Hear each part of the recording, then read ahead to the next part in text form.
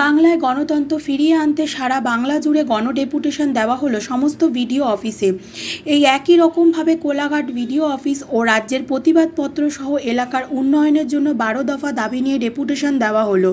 ডেপুটেশনের নেতৃত্ব দেন জেলা সম্পাদক দেবব্রত পটনায়ক, সাথে ছিল মণ্ডল সভাপতিরা। শাসকদের অন্যায়ের বিরুদ্ধে আমরা প্রথমে প্রতিবাদ, তারপর প্রতিরোধ, তাতেও যদি না হয় তখন প্রতিশোধ। কিন্তু ভারতীয় জনতা পার্টি সেই দিন বাংলার বুকে আসতে দেব না। মানুষের সাথে নিয়ে গণতন্ত্র ফিরিয়ে আনবই। এই আমাদের লক্ষ্য বলে জানান জেলা সম্পাদক। তাই আজকের এই গণতন্ত্র বাঁচাও আন্দোলন থেকে এক প্রকার যেদিন বলেন, এই প্রতিরোধের মঞ্চ থেকে আমরা আজকে একটা বার্তা দিতে চাই, আপনারা শুধরে যান। আমরা প্রতিবাদ, প্রতিরোধে আছি। আমাদের মনের মধ্যে আগুন জ্বালাবেন না।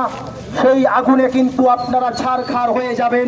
সেই ছাড় ছাড়খার আপনারা আমরা সেদিন কিন্তু আর আটকাতে পারবেন না।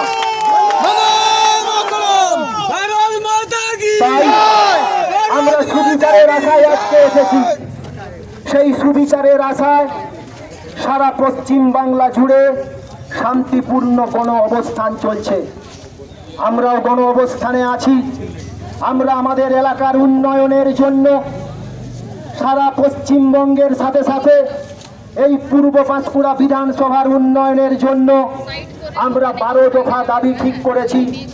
সেই বারো দফা দাবি নিয়ে আজকে আমরা বিডিও সাহেবের কাছে যাব। আপনারা জানেন সেই বারো দফা দাবি সম্পর্কে আপনাদেরকে জানিয়ে যাই। এই বারো দফা দাবির সদুত্তর পাওয়ার জন্য আমাদের মণ্ডল সভাপতিরা বিডিও সাহেবের কাছে দরবার করবেন।